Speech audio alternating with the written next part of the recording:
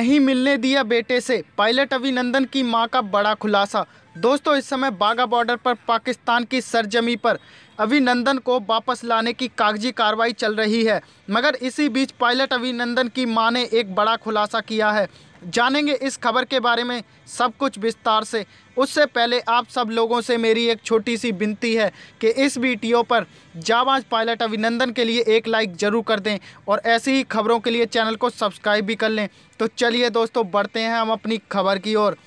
आज दोपहर को ही पायलट अभिनंदन को पाकिस्तान में स्थित भारतीय दूतावास के अधिकारी और पाकिस्तान के कुछ सैन्य अधिकारी बागा बॉर्डर लेकर पहुँचे।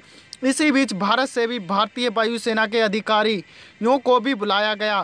भारतीय वायुसेना के अधिकारियों के साथ पायलट अभिनंदन के माता पिता भी गए। अभिनंदन की माता ने बेटे से मिलने की इच्छा ज़ाहिर दोस्तों, ये सब मैं सूत्रों के हवाले से बता रहा हूँ। इस पर पाकिस्तान के अधिकारियों ने अभिनंदन को उनकी माँ से मिलाने के लिए सबसे पहले उनकी चप्पलें उतरवाईं।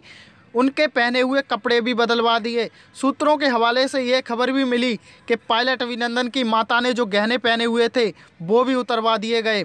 और सबसे हैरानी वाली बात यह है कि उनका पहना हुआ मंगलसूत्र भी पाकिस्तानी अधिकारियों द्वारा उतरवा दिया गया। इसके बावजूद भी अभिनंदन की माँ को अभिनंदन से नहीं मिलाया गया। कहा जा रहा था कि उनको एक शीशे की दीवार वाले रूम में मिलाया जाएगा। उनको डायरेक्ट अभिनंदन के पास नहीं बिठाया जाएगा। सूत्रों के हवाले से यह भी खबर निकलकर सामने आई कि अभिनंदन के माता पिता को कुछ अपमानजनक फ़ोटो भी दिखाए गए।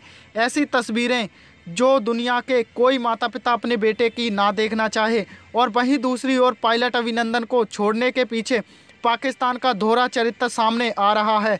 पहले पाकिस्तान ने कहा कि हम 10 बजे तक अभिनंदन को रिहा कर देंगे। उसके बाद खबर आई कि 4 बजे तक अभिनंदन रिहा हो जाएँगे। अब दोस्तों, आप देख ही सकते हैं कितना वक्त हो गया है। और अभिनंदन जी, अभी भी अपनी सरजमी से कुछ ही कदम सही, मगर दूर हैं।